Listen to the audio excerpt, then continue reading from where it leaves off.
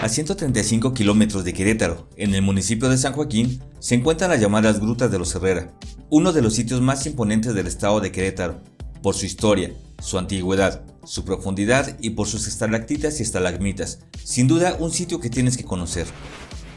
Según la historia, estas grutas se comenzaron a formar hace 400 o 600 millones de años cuando esta zona se encontraba bajo el mar, y después con el tiempo, cuando la Tierra emergió por el movimiento de las placas tectónicas, se crearon las montañas que hoy forman parte de la Sierra Gorda de Querétaro, quedando así al descubierto la entrada a esta caverna.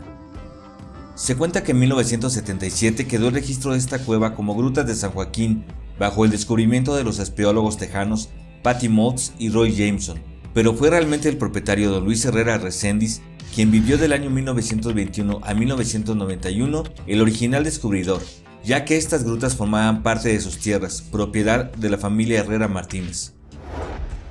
En estas grutas se tiene registro de una profundidad de hasta 370 metros en algunas partes en su interior, y aunque se siguen explorando, la zona habilitada para el turismo cuenta con salas de 30 o 40 metros de altura, donde se dejan ver fácilmente sus maravillosas formaciones rocosas, y aunque solo una pequeña parte está condicionada para el turismo, no por eso deja de ser impresionante el caminar dentro de esta maravilla natural.